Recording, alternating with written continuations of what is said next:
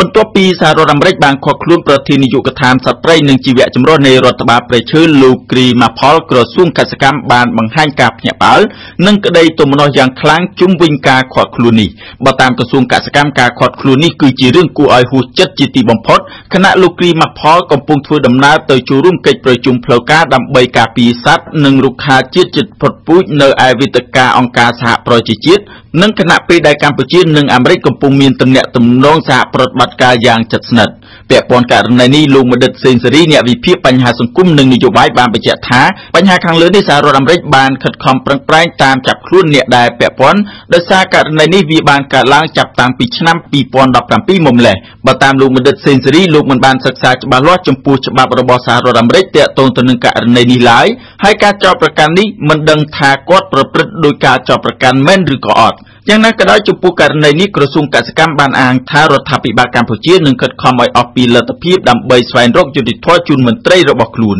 ក្រសួងកសិកម្មបានបញ្ជាក់ថាសត្វស្វាក្តាមត្រូវបានចិញ្ចឹមនៅកម្ពុជាចាប់តាំងពីឆ្នាំ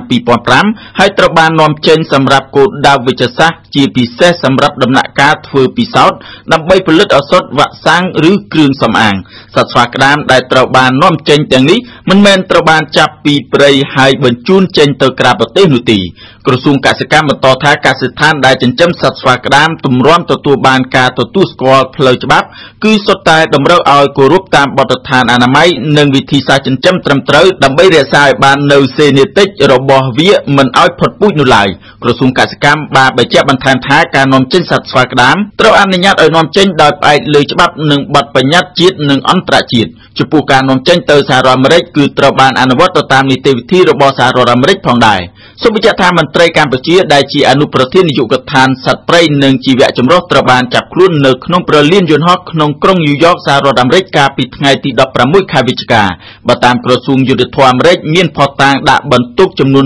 31ដោយតួយ៉ាងប្រតិបត្តិការហិរញ្ញវត្ថុនិងការដឹកជញ្ជូនសត្វស្វារាប់រយក្បាលក្រោមឯកសារក្លែងបន្លំទៅកាន់រដ្ឋ Florida និងរដ្ឋ Texas ប្រទេសសហរដ្ឋអាមេរិកនិងទៅកាន់ក្រុមហ៊ុនឯកជនស្រាវជ្រាវផ្នែកជីវសាស្ត្រឈ្មោះ Vani Bio Research របស់ជនជាតិហុងកុងក្នុងខេត្តពោធិ៍សាត់ប្រទេសកម្ពុជាក្រសួងយុទ្ធភ័ពអាមេរិកបញ្ជាក់ថាតុលាការកំពុងដំណើរការក្តីរត់ពន្ធសត្វស្វាត្រាស់ខុសច្បាប់ជាចង្កោមនេះលើជនជាប់ចោតសរុបចំនួន8នាក់ដែលក្នុងនោះមាន2នាក់ជាមន្ត្រីរដ្ឋកម្ពុជា និង6នាក់ទៀតជាម្ចាស់និងបុគ្គលិកជាន់ខ្ពស់របស់ Vani Bio Research ដែលជាស្ថាប័ននាំចេញឬផ្គត់ផ្គង់ថនិកសត្វផ្ដាច់មុខសម្រាប់ការស្រាវជ្រាវផ្នែកវិទ្យាសាស្ត្រពួកគេអាចត្រូវប្រឈមនឹងការកាត់ទោសរហូតដល់5ឆ្នាំលើបទសំគំនិតនិងអាចរហូតដល់20ឆ្នាំលើបទចោទប្រកាន់រត់ពន្ធចំនួន7ករណីនិងត្រូវរងការផាកពិន័យជាទឹកប្រាក់ប្រមាណ150,000ដុល្លារឬ2ដងនៃប្រាក់ចំណេញពីបទល្មើសរត់ពន្ធសត្វនេះ